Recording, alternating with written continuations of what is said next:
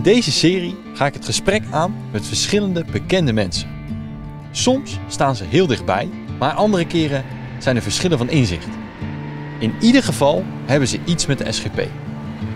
Met hen bezoek ik twee door hen zelf gekozen plekken en bespreek ik onderwerpen die voor de SGP belangrijk zijn. Vandaag ga ik in gesprek met ondernemer Jan van der Bos. Goedemorgen Florian. Wilt u achterin instappen? Dan, Jazeker. eh, Kijk, super. Ik mag niet eens voorin zitten. Nee, de, de minister-president rijdt ook achterin. Kijk, heb u al vaker in een eentje gereden? Eh, ja, heel vroeger. Toen had ik zelf een lelijk eentje. Ja. En ik had haast, want ik moest een, een programma, live programma presenteren. En ik was verlaat, dus op een gegeven moment eh, reed ik keihard bij de EO weg. Ja. En er kwam een auto aanrijden, daar bots ik bovenop. En mijn hele, die auto had ook wel schade, maar mijn hele eend lag over straat. Deuren, dak, weet ik wat. Het Ja. was- En ik zat ook eh nou, veel nog mee. Dus ik dacht, nee, zo'n auto wil ik niet meer. Dat is toch wel link. Dat kan ik me voorstellen, ja. Ja. Want eh, ik ben wel benieuwd, waar, waar zouden mensen u allemaal van, eh, van kunnen kennen? Ja, dat is wel. Dat, ja, ik, ik doe al 40 jaar mee eh, Ja. op, eh, met eh, radio en televisie. ik kom uit een zeer orthodox gezin waar radio en televisie verboden waren. Kastje van de Duivel. En dat, dat wekte wel mijn belangstelling. Dus toen ben ik toch tegen de zin van mijn vader, want die wilde graag dat ik zijn zaak overnam, communicatie gaan studeren in Cambridge. Ja. En eh, toen werd de EO geboren en daar werd ik gevraagd om te komen werken. Eh, en ik vond het mooi, hè? de EO had als opdracht om het eh, evangelie uit te dragen. En ja, die boodschap sprak me aan. Dus toen ben ik gewoon begonnen. En ja, binnen de kortste keren was ik tv-presentator. Ik vloog de hele wereld rond. eh, ehm, en heb de EO Jongerendag opgericht.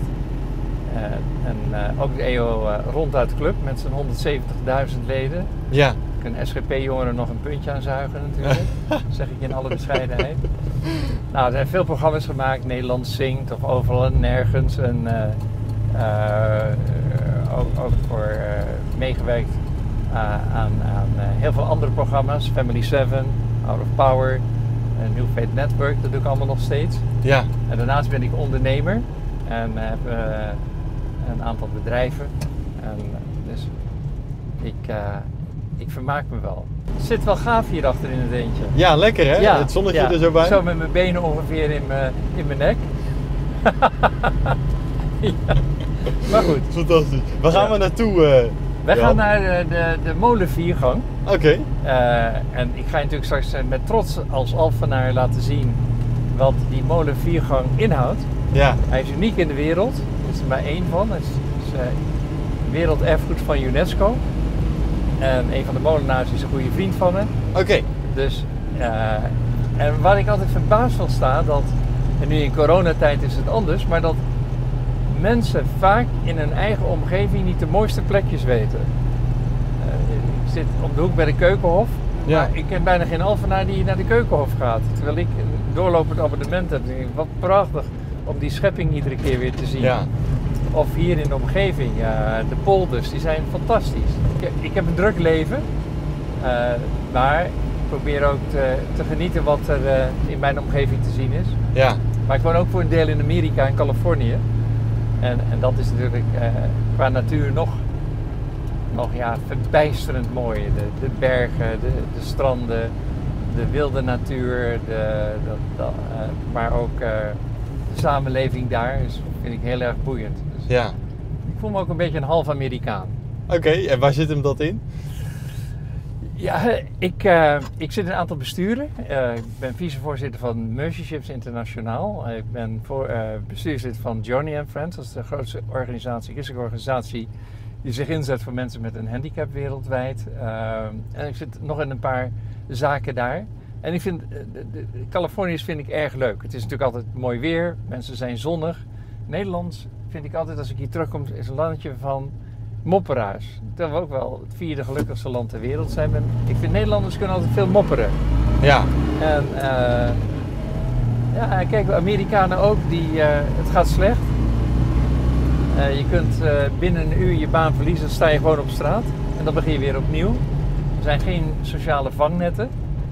Dus het land uh, bounced ook sneller back. of of komt weer sneller op zijn pootjes terecht. Ja. En als ondernemer vind ik dat wel mooi, weet je? dat bid en werk, ora et labora. Maar Ja? als je Amerikaan bent van, van, van, of half Amerikaans voelt, dan, dan zijn de verkiezingen die de afgelopen keer zijn geweest, die doen dan ook wel wat met jou.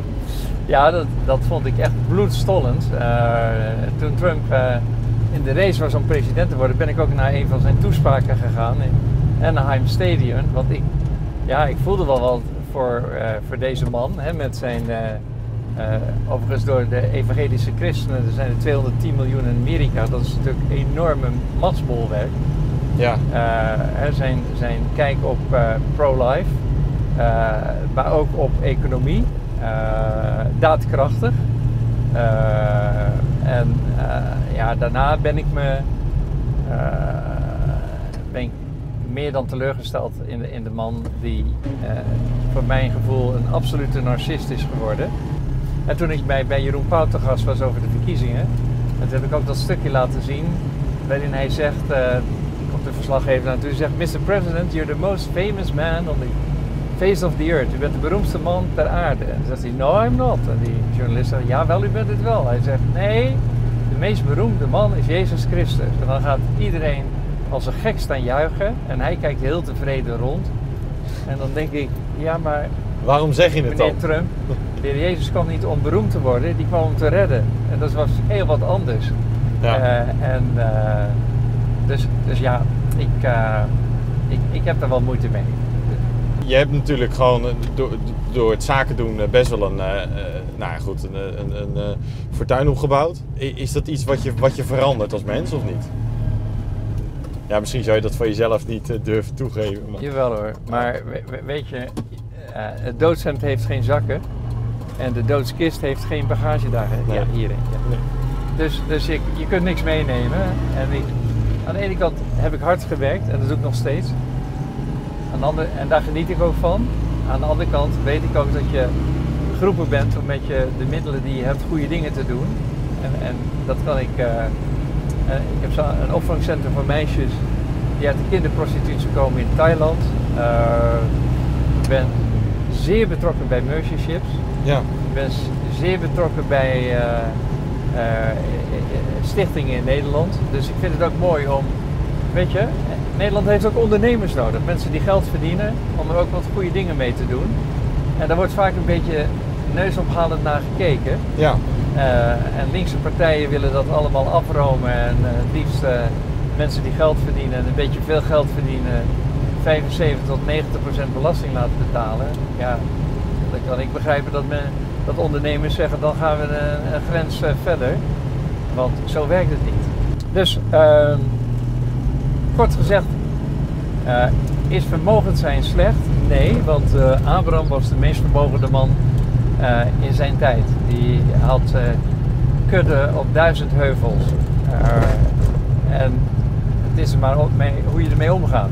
Ja. Kijk, in de Bijbel staat geef mij rijkdom nog armoede. Nou, dat is een heel mooi uitgangspunt. Maar hè, er zijn mensen die, die, die in armoede leven. en dat is een groot deel van de wereldbevolking. Er zijn mensen die ook een onvoorstelbare rijkdom leven, die uh, uh, de ene miljard naar de andere binnenhalen. Maar nogmaals, je kunt je geld niet meenemen. Nee. Dus als ik er niet meer ben, dan gaat alles naar goede doelen. Kijk.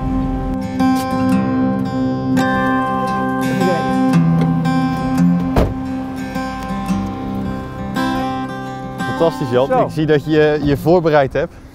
Ja, wat, wat, uh, wat ruik jij? Ik ruik de koeien.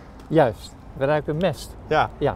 Dat, uh, dus, uh, want dit is een boerenbedrijf met een molen. Ja, precies. Oké. Okay. Mooi hè? Ja, ik vind het fantastisch. Hij draait vandaag. Ja, nou daar hebben we heel veel geluk mee.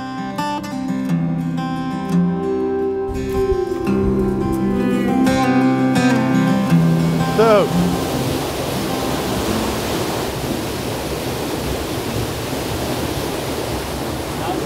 Natuurlijk uniek, hè? Dit Ja. is zo Nederlands. Wat, wat gebeurt hier, Jan? Nou, ik zal die even laten zien. Ja. Ik ben er natuurlijk trots op dat dit eh, UNESCO Werelderfgoed is. Het is de enige molen viergang ter wereld die nog werkt. De meeste molens hebben een elektrisch gemaal. Maar deze molens draaien nog echt. Die hebben ook geen elektrisch gemaal. Die doen Nee. het echt nog op. Eh, nou, wat we eh, daar zien is een vijzelmolen. Dus dit noemen ze de putmolen. En die vijzel die, die draait dat water omhoog. Hè, in deze 500 hectare tellende polder. En als deze vier molens niet zouden werken, dan zou deze polder binnen de kortste keren onder water staan. Zo. Want het water wat je hier ziet, wordt 5,5 meter omhoog gebracht naar de Oude Rijn waar ik aanwoon. Dus deze molens eh, malen ieder anderhalve meter water op. Dit is dan een, een vijzelrad, maar de anderen hebben van die schoepraden. Dan zie je dat water enorm, met enorm geweld naar door die schoepraden Ja. gaan. Ja, en dan denk ik, hoe mooi is Nederland? En ook hoe mooi is de schepping? Weet je, als ik hier ben, dan denk ik, weet je, die luchten, die, en die, eh, daar, hier kwamen ze schilderen uit eh, Amsterdam, de Rembrandts en de Frans Halsen, omdat die luchten hier ook zo mooi zijn. Zie je het? Ja, ik zie En, het. en de wijdheid van het landschap. En nogmaals, dit is uniek. Als je hier dan loopt, dan vraag ik me toch af waarom je dan vakantieparken in het buitenland hebt. Ja, goede vraag. Nou, de, de, de mens heeft het verlangen om te ontdekken. En ik vind het heel mooi om eh, juist in het buitenland eh, parken van christelijke signatuur te hebben. En daar Ja. ben ik ook wel een beetje trots op. Dat kan ik me voorstellen. Maar zeker nu in coronatijd kan er weinig gereisd worden. De- Waar hou je je dan mee bezig de hele dag? Eh, ik, het lijkt wel of ik het drukker heb dan ooit tevoren. Hè? Van, eh, in de reiswereld is het eh, zeer dramatisch, dus ik moet eh, reisbedrijven overeind houden. Eh, en mijn werk voor bijvoorbeeld Mercy Ships of andere organisaties of andere bedrijven waar ik bij betrokken ben, dat, dat stopt gewoon niet. Maar ik voel me wel een beetje als een vogel in een kooi. Hè? Ik wil graag uitvliegen, ik wil graag naar Amerika. Ik had nu in Thailand willen zijn bij, eh, bij het project wat ik daar heb. Dat is meisjes eh, die eh gedwongen in de kinderprostitutie zi- zijn gekomen. In het New Life Center waar ze een nieuw leven met God krijgen. Ja, dat had ik nu geweest. Ja. Maar ja, het- dat staat allemaal stil. Heb je nou ook bij bijvoorbeeld Mercy Ships of bij dat andere project te maken met corona? Of, of... Ja, zeker. Want we hebben de, de Africa Mercy, die had normaal eh, voor de kust van Senegal eh, al die allerarmsten geopereerd. Maar dat kan er niet. Hè? Want het schip ligt nu in Tenerife. En die gaat in april weer terug naar eh, Senegal, naar Dakar. Om eh, daar niet alleen mensen medisch te helpen, maar ook de regering te helpen met het, met het inentingsprogramma. Met het, eh, en, en daar is heel veel overleg aan vooraf gegaan. En in China ligt ons nieuwe grote schip, de Global Mercy, waar ik ongelooflijk dankbaar voor ben. Eh 2,5 keer zo groot als de Africa Mercy. Een enorm schip wat in eh, oktober naar Rotterdam komt. En dat wordt ook een varend opleidingsschip. Dus we, hebben, we zeggen nu ook, weet je, we moeten ook de Afrikaanse medici opleiden. Dus we moeten ze niet alleen vis geven, maar ook een hengel. Ze moeten het ook zelf leren. Dus ja, dat vind ik heel mooi. Dat, daar ben ik ja, toch wel veel tijd mee kwijt. Minstens anderhalve dag per week. Eh, als voorzitter Nederland en vicevoorzitter internationaal. Om, om daar ook weer een weg in te vinden. Dus ook weer een uitdagende tijd. Dus ik verveel me niet. Ik werk gewoon 12 uur per dag. Ja. Wat staat er in het woord? In het zweet? Des aanschijns eh, zult u brood verdienen, toch? Oké. Kijk, vrij geciteerd natuurlijk. maar waarom heeft bijvoorbeeld een Mercy jouw hart? Wa- waarom? Nou, ik, ik heb heel veel gereisd. Dus ik heb, eh, eh, ik, ik, heb presidenten geïnterviewd. eh, en, en, en, en mensen die het helemaal gemaakt hadden. Maar ik ben ook veel geweest daar waar, waar de mensen niets hadden. En mijn eerste reis in mijn EO-tijd was naar de Sahellanden. Naar een zendeling die daar in, in een hongergebied probeerde mensen op te vangen. En, en ik, ik, ik kwam daar aan na een reis. Was allemaal nieuw voor me natuurlijk. Ik was heel jong, ik was eh, 22. En allemaal mensen in lompen die daar ja, lagen te sterven. En er kwam een vrouw naar me toe, lompen gehuld, en die gaf me een pakje. Ik pakte het aan en ik had een dode baby in mijn handen. En dat was ook wel het moment van mijn geloofscrisis. Dat ik echt dacht van, God als u bestaat, hoe bestaat dit nou? Weet je wel? Van, eh, eh, dus dat heeft me diep geraakt. En ook wel heel erg eh, de drive gegeven om wat te doen. Om niet te zeggen van, jongens, ja, als je wat doet, is het toch maar een druppel op een gloeiende Ja. plaat. Want elke druppel telt. En we hebben gewoon de opdracht. Hè? Van Jezus zegt, was, ik, ik, ik, ja, ik was hongerig, heb je me gevoed. Ik zat in de gevangenis, heb je me opgezocht. Eh, eh, noem maar op. Dus die grote opdracht, ja, die vind ik mooi om daar aan mee te werken. Nou, ik ben een, e- teruggegaan naar Nederland met, eh, met een enorme drijf om een grote actie op te zetten. Eh, en dat is ook gebeurd. Dus, dus er is daar 700 ton hulpgoederen zijn naartoe gegaan. Dus ik was alleen maar bezig op radio en televisie. We moeten wat doen, we moeten helpen. Ik belde KLM, grote bedrijven op, jullie moeten geven.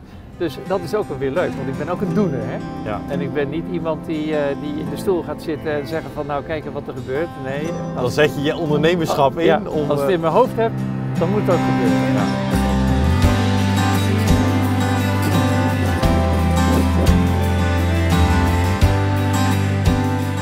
Nou, hoe vond je de molens? Ja, ik, Snap je dat ik een beetje trots op ben? ik kan me heel goed voorstellen dat je er trots op bent. eh, Ja. ja. Ik snap niet dat jij hier erover Nou ja, dat zou ik nog doen hè. Ja. Want, eh, nou, ik denk dat het zou voor mij toch te beperkt zijn. De hele dag aan zo'n molen eh, die wieken hier en daar op de wind zetten. En, Ja. Zo'n klompenhuisje en een paar koeien. Nee, nee, nee, nee. nee. Het is niet, nee het is, niet voor jou weggelegd. Nee, nee. Ben wel benieuwd.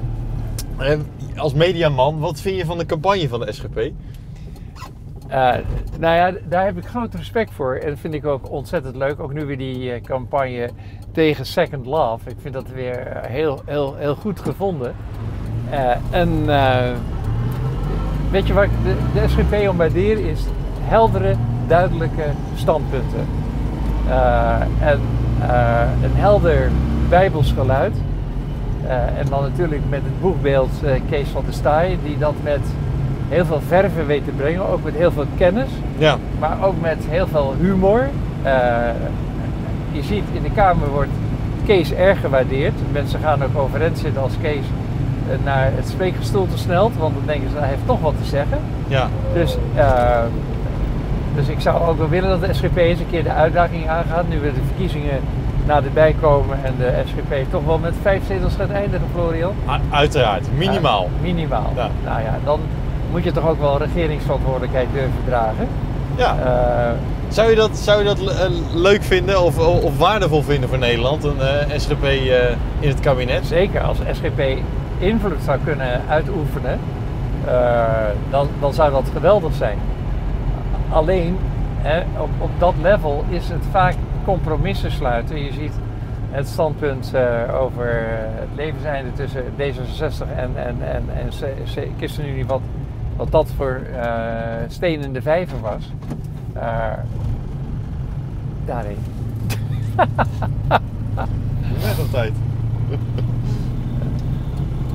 ja, maar... dus dus als, je, als je zegt wat vind je van de SGP, een helder principieel geluid, eh, duidelijk beleid, eh, goed verkiezingsprogramma, eh, niet, eh, laat ik zeggen, met alle winden meewaaien, maar gebaseerd oh, en geïnspireerd op het woord van God en de opdracht die we hebben in de samenleving.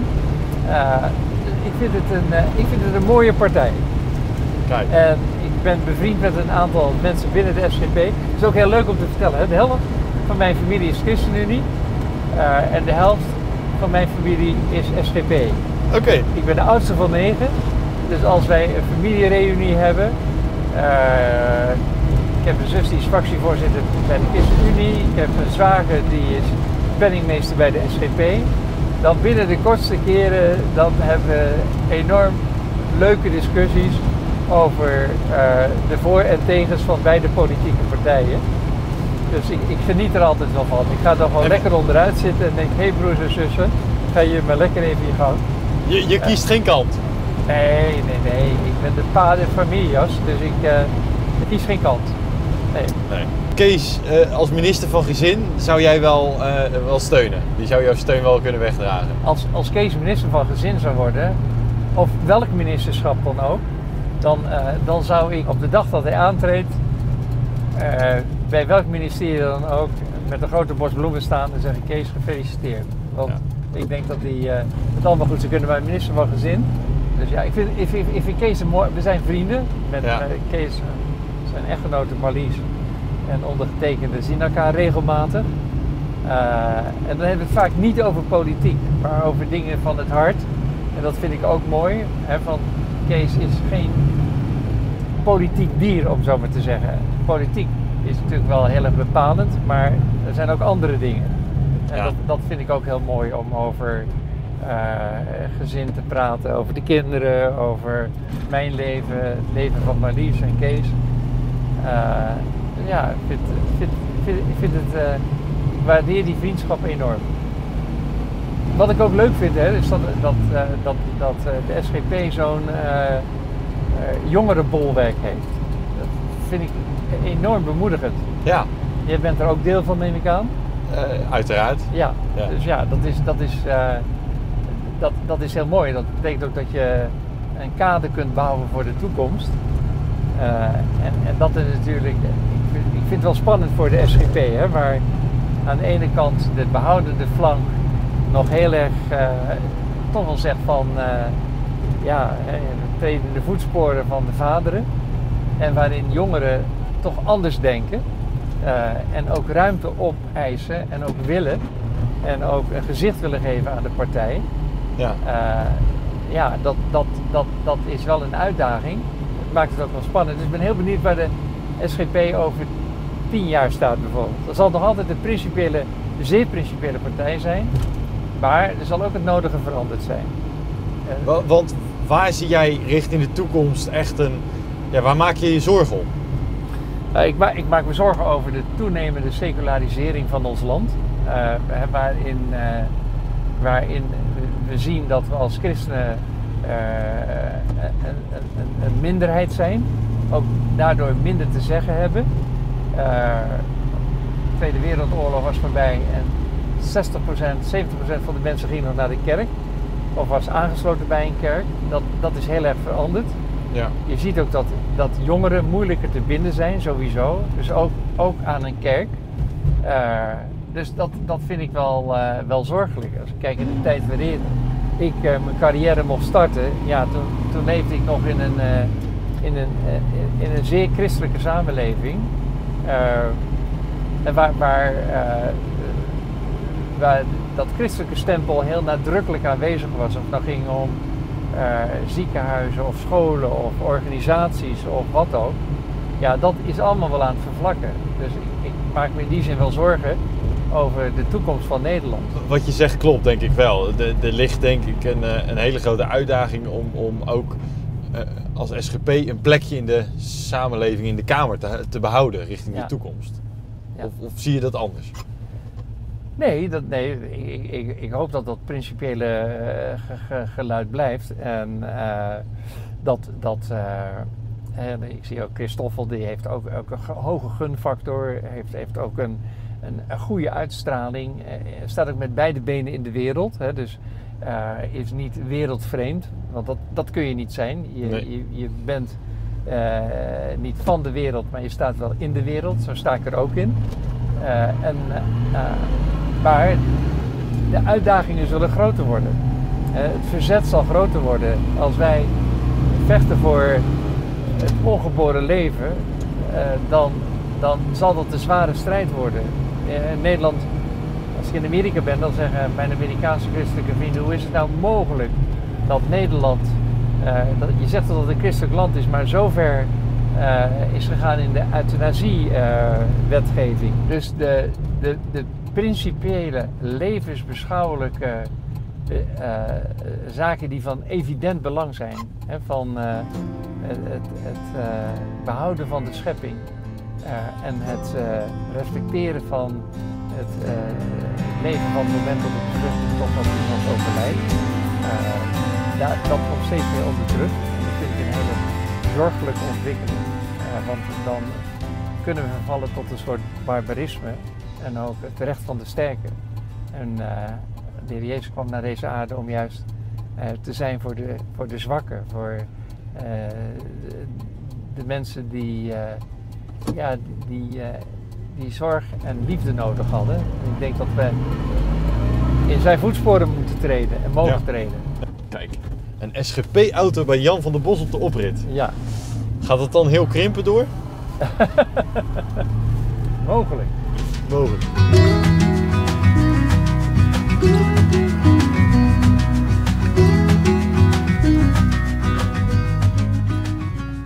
Mooie kerk, hè? Fantastisch. Ja, beroemde Hesorgel. Dus eh, als, eh, het orgel heeft een prachtige klank. Ja, het is natuurlijk heel mooi om hiernaast te wonen. Maar wij, ik deed vroeger wel ondeugende dingen hoor, want eh, eh, ik ben hier opgegroeid in het huis hiernaast en ik had een windbuks van mijn opa de kosten staat te luisteren. En dan zei ik tegen mijn broer, nou kleine kogeltjes, joh, dan mikken op dat sterretje, op dat pelikaantje. En toen zijn er ooit eh, eh, deskundigen geweest en die begrepen me niet hoe die mooie ronde gaatjes erin kwamen. Dus het is weer netjes gerestaureerd. ik, heb, ik heb het keurig opgebiecht. Oké. Ja. Ik heb begrepen dat jouw lijfspreuk is: de hemel geeft, wie vangt, die heeft. Zeker. Is dat niet een hele boute uitspraak? Nee, want eh, ik, ik bedoel ermee, hè, van, eh, ik neem het voorbeeld van de talenten in de Bijbel. Hè. De- iemand die, eh, een rijke heer, die gaat op reis en die geeft drie van zijn knechten, geeft hij allemaal een talent. Dus jongens, ga ermee aan de slag. En de een begraaft het in de grond, want die zegt, nou, die man is hardvochtig, dus als hij terugkomt, dan haal ik het zilver eruit en dan geef ik het aan hem. En de twee anderen gaan ermee aan de slag. In die zin, de hemel geeft ons heel veel. Ja. Maar als we met onze handen op de rug gaan staan, ja, dan gebeurt er niks. Nee. Maar als we handen open houden, dan, dan ontvang je ook veel. Ja, en, maar goed, eh, kan je je ook voorstellen dat mensen die dat dan horen en zoiets hebben, ja, dan, sta ik dan niet met, met beide armen ge- genoeg. Hè. Ik doe heel hard mijn best, maar ik, ik kan de eindjes niet aan elkaar knopen. Nee, natuurlijk, dat is ook zo. Maar weet je, als je, de, de basis je geloof is, dan is dat toch eh, iets waar je, eh, eh, wa- waar je op kunt funderen. Hè. Dat is dan toch een vast fundament. En natuurlijk is het heel, heel tragisch om te zien en heel moeilijk om te begrijpen waarom we in een wereld leven die zo verdeeld is. Hè. Dat, er, dat er nu 600 miljoen mensen honger lijden in Afrika. En dat deze wereld geplaagd wordt door oorlogen, door geweld. Waarom eh, is er zoveel ellende in deze wereld? En dan zei hij, ja, ik, ik, hè, dat, dat, dat kan ik niet verklaren. Maar Nee. ik weet wel dat God meehoudt en dat Hij erbij is. En dat Hij ons ook een stukje verantwoordelijkheid geeft. hè. dus, eh, eh, dus in die zin, de hemel geeft, wie vangt, die heeft. En het gaat er niet om dat dat, dat, dat, dat, dat een, een zak met goud is. Het gaat erom dat je met open handen zegen mag ontvangen. En die zegen is niet in geld uit te drukken. Dat is wat hier zit.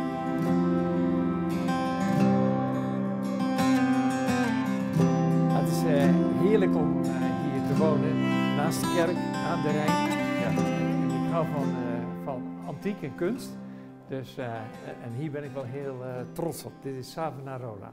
En Savonarola was de monnik, de voorloper als het ware van Luther en Calvijn. Savonarola die verzette zich tegen de aflatenhandel en eh, tegen de corruptie eh, van de paus. En die wees op het woord. En hij is ook in Florence om het leven gebracht. Ja. Maar ik vond het zo mooi. Ik zag hem in een antiekzaak in Parijs. En ik vond het zo mooi. Hè, van, ik dacht dat Luther was namelijk. Hij kijkt naar de wereld en wijst naar het woord. Dus eh til hem even op, Florian. Kom op, je bent zwaar. Ja, maar SGP'ers zijn ook zwaar. Oké, als ik hem niet laat vallen, dan Nee, er gebeurt er niks. Ja, dit is... eh Ja. Ik laat hem staan, denk ik. Oké, eh, Jan. goed, goed. Nou, Maar het is wel eh, het is een beetje zoals de SGP. Kijken naar de wereld en wijzen naar het woord. dat is een mooie afsluiting. Zegen op het werk van de SGP en ik steun het van harte.